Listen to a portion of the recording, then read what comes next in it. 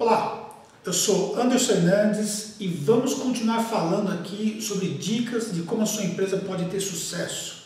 Especificamente nesse tema que estamos tratando sobre sites.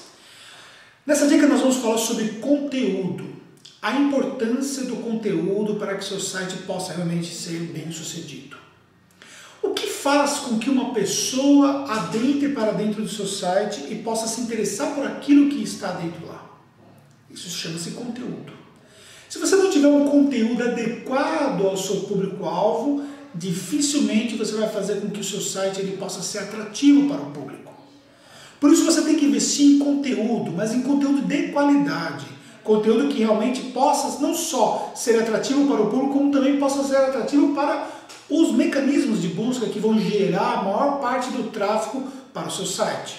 Já falamos sobre isso numa dica anterior. Por isso, invista em conteúdo. Quanto mais conteúdo você conseguir ter sobre um determinado tema, maior relevância você vai ter sobre aquele tema. Por exemplo, para você entender mais ou menos como é que você pode fazer isso, pense no meu próprio exemplo em relação a uma série de conteúdos que eu publico na internet, quer seja através de artigos ou vídeos ou assim por diante. Se você fizer uma busca em alguns termos na internet, você vai descobrir que esses termos eles foram dominados pela minha relevância. Como, por exemplo, o termo marketing contábil. Você vai observar que, ao pesquisar isso no Google, os maiores exemplos, artigos e informações voltados a esse tema foram escritos por mim. Isso significa que você consegue ter relevância e conteúdo adequado sobre determinado tema.